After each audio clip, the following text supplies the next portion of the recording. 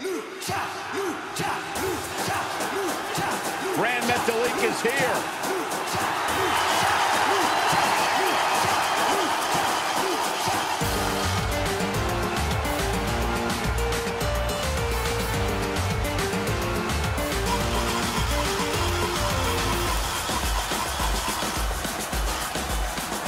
The following contest is scheduled for one fall. Making his way to the ring, representing Lucha House Party from Guadalajara, Jalisco, Mexico, weighing in at 175 pounds, Gran Metalik Byron, you know why Metal wears that mask? Oh, why, Corey? In Mexico, he owes a lot of people a lot of money.